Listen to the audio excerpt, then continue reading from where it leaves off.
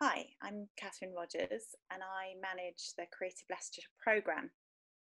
And for those of you who don't know what Creative Leicestershire is, we're actually a service within Leicestershire County Council and we've been operating for about 15 years supporting creative business and individuals whose um, creative ideas and their skills and talent come from themselves. I've had an amazing team over the past 15 years and lots of individuals have come and gone and everybody who I've worked with in Creative Leisure has gone has put a lot into developing what WebinArt is and how we best support creative business.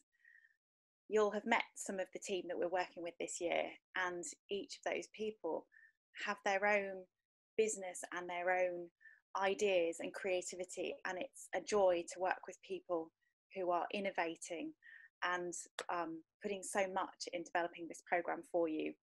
I really hope that you get a lot out of it. It's um, it's actually in its third year um, from developing from pilot stage, so we're learning all the time, and we hope that we will also learn from you this year. Um, what's really important for us in Creative Leicestershire is that people respect each other. And more than ever before, that respect also comes along with self awareness. And we do believe that if we have both of those things, we will work better and be better together.